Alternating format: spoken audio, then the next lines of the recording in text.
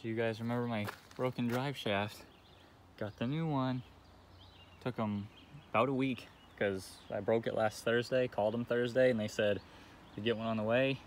I'm gonna be here Monday and it's Wednesday. Wednesday night. Just got it in.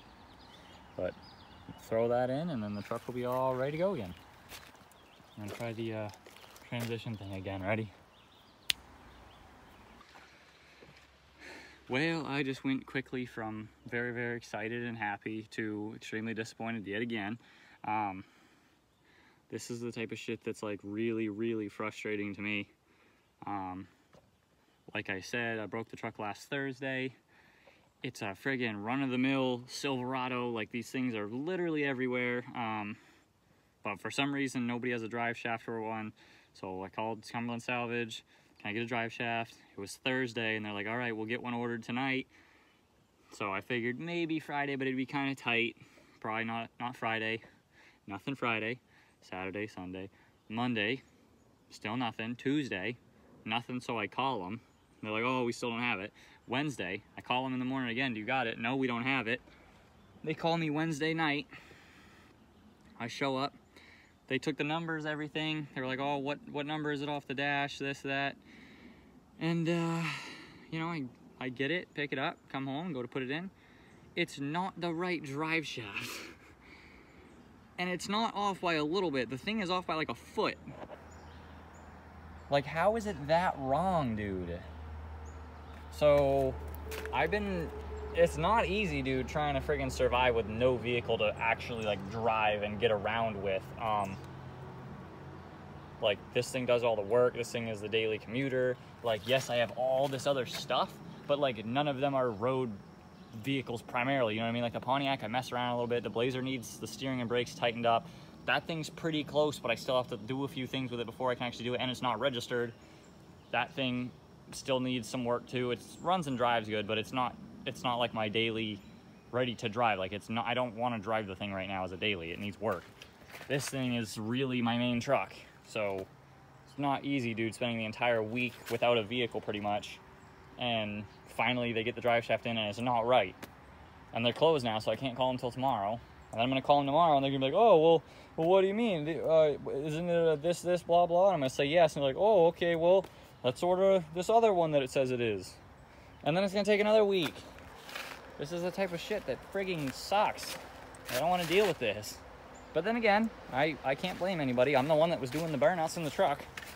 I just, I didn't realize that it was gonna be this hard to get a drive shaft for a Silverado. There's a buddy up the road and he, well, I, it was a guy that I actually just sold the purple truck to, that purple single cab a little while ago. Um, and he's doing work on it. He's not really actually gonna be driving it for a while, so he currently doesn't need the drive shaft. So he said that I can borrow it until the salvage yard figures out how to get me another one because um, it could take him another week or two and he's not going to be driving the truck. Um, so I'm just going to borrow that one off him. So as always, what's not a roller coaster around here? Um, as I'm pulling out of the driveway to go to my buddy's house to get the other drive shaft, Cumberland Salvage Yard calls me and says that all the numbers I gave them were correct. They ordered the correct drive shaft, but someone at the other place that they ordered it from inventoried it wrong, so it's it's out of an extended cab, so that's why it's wrong. Um, so they found another one. It's in Auburn, which is the same distance from here to Auburn that it is from here to them. So, um, you know, I told them I could just get it because otherwise they said it would be here like late tonight or tomorrow again, and I don't want to wait. So I, I'm just going to take a quick run back to the salvage yard there, return this one, get my money back, and then hit Auburn real quick. So we just picked up the uh, new drive shaft. Um, like I said, Cumberland Salvage Yard, tried to get it first. M&P Auto Sales was the place that actually ended up having it, so I just picked it up there. I'm always like, I always try to be as nice as I can about like business and everything, but dude, M&P Auto Sales, the people there suck. like, I've only gone there twice in my life, and both times they were absolutely ignorant as shit to the customers. Uh, my buddy bought a motor there once, and we put the whole motor in, like it took us like two days, and the motor was junk. It was knocking, and they were like, "Oh yeah, sorry about that." And it's like you don't test them before you give them to customers. And it, on top of that, they were like jerks about it. They were like wicked ignorant, like didn't want to give your money back and whatnot. And that was a while ago, and I was like, oh, it must have just been a bad day for them or something, because my buddy like hates that place now. He's like, oh, I'm never going to M&P ever again. And I just got the drive shaft, and I show up there, and there's this old guy. I mean, they're all a little older, but like the oldest dude is like, oh, what do you want? And I was like, I called about a drive shaft. And he starts asking me all these numbers. He's like, oh, what year is it? What's this? What's that? And every single time I tell him what it is, he doesn't hear me. I was like, single cab long bed. He's like, what is it? And I'm like, a single cab long bed. He's like, what? I'm, what's the wheelbase of the truck? Dude, it's a single cab long bed. and then he's like, oh, well, is it four wheel drive? Yes. Is it four wheel drive? Like he just kept not listening to me.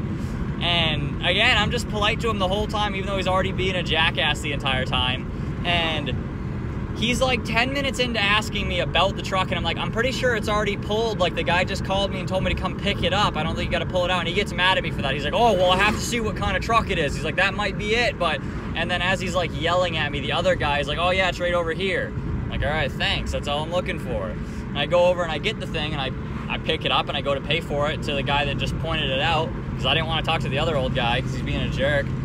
And as I go to pay for it, like 90% of places you go, especially salvage yards, if you pay cash, it's usually cheaper. Like every time you go, it's like, if it's like a $200 part and you pay cash, it's usually 10, 20 bucks cheaper. So I asked the guy, I was like, oh, is it, you know, is it cheaper if I pay cash? Is there any discount? And the old guy starts laughing at me and like pretending I'm stupid. He's like, he's like, oh my God. He's like, what do you think? There's a discount if you pay cash? It's like, yes, yes, I do think there's a, there's always a discount usually when you pay cash, but but dude, the guy's just like making fun of me the whole time for asking if they're like he's sitting there with his hands on his face, like that was the stupidest question. He's like, "Oh my god, you think there's a discount?" It's like, dude, there's a reason this place has such a bad reputation. It's because of you. He was like some 70 year old dude, and his nose was all crooked, and he had a black eye because it looked like someone else didn't want to deal with his bullshit either, and fucking socked him over the counter. I don't know, but uh, I wouldn't be surprised if someone did that. That guy's a prick, dude. Um, but yeah, that's my second time at M&P Auto Sales in uh, in Auburn. So that place sucks shit. If you can avoid that place, I would say avoid that place.